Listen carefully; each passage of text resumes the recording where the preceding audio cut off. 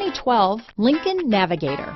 The Lincoln Navigator offers over 100 cubic feet of cargo space, three rows of seating for up to eight passengers, and best-in-class legroom, as well as an authoritative 5.4-liter three-valve V8 flex fuel engine. This luxury SUV is powerfully persuasive.